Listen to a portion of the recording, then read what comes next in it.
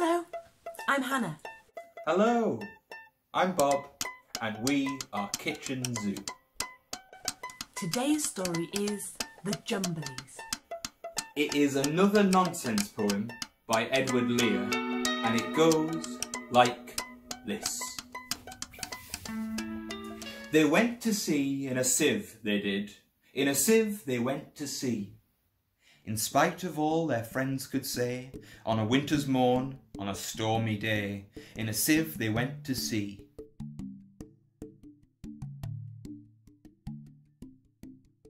And when the sieve turned round and round, and everyone cried, You'll all be drowned, they called aloud. Our sieve ain't big, but we don't care a button, we don't care a fig. In a sieve we'll go to sea. Far and few, far and few are the lands where the Jumblies live. Their heads are green and their hands are blue, and they went to sea in a sieve. They sailed away in a sieve. They did.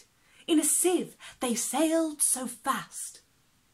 With only a beautiful pea-green veil tied with a ribbon by way of a sail to a small tobacco pipe mast.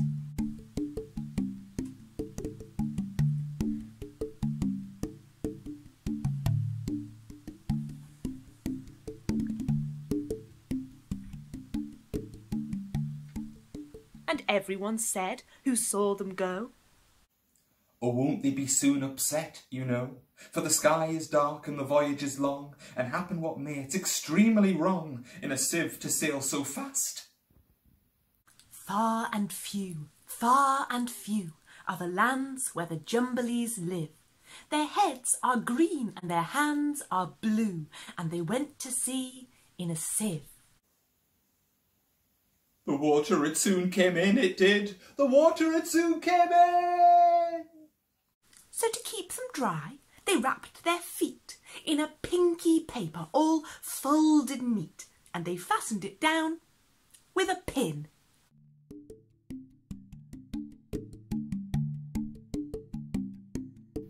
And they passed the night in a crockery jar. And each of them said, How wise we are!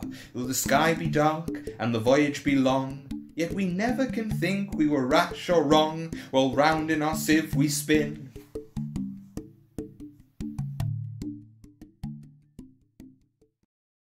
Far and few, far and few are the lands where the Jumblies live.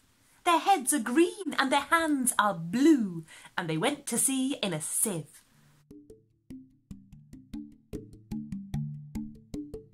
And all night long they sailed away, and when the sun went down, they whistled and warbled a moony song to the echoing sound of a coppery gong in the shade of the mountains brown.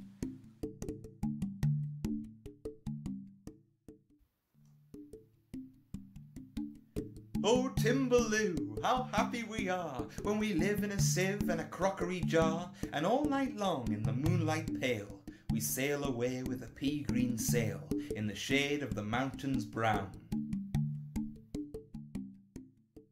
Far and few, far and few are the lands where the Jumblies live. Their heads are green and their hands are blue, and they went to sea in a sieve. They sailed to the western sea, they did, to a land all covered with trees, and they bought an owl, and a useful cart, and a pound of rice, and a cranberry tart. and a hive of silvery bees.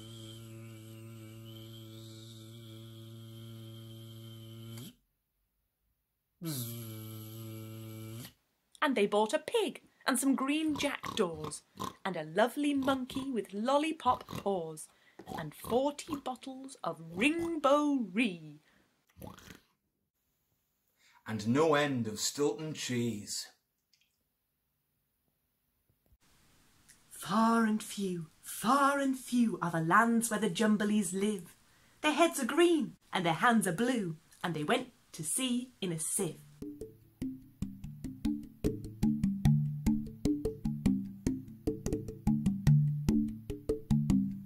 And in twenty years they all came back. In twenty years or more.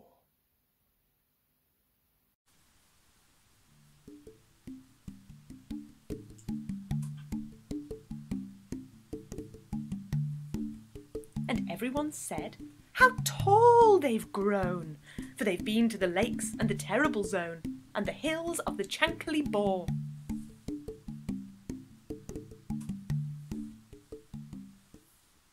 And they drank their health and gave them a feast of dumplings made of beautiful yeast. And everyone said, If we only live, we too will go to sea in a sieve, to the hills of the Chankly Bore.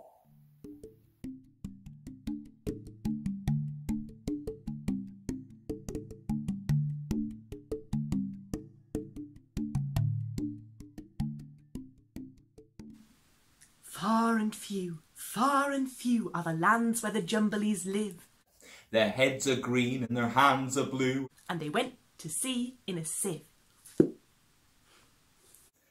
That was The Jumblies by Edward Lear. What was your favourite bit? I like the monkey with the lollipop paws and the feast at the end. Mm. What was your favourite bit? Maybe you could draw a picture of your favourite bit and send it to us on Facebook or Twitter or Instagram at Kitchen Zoo. See you next week. Bye. Goodbye.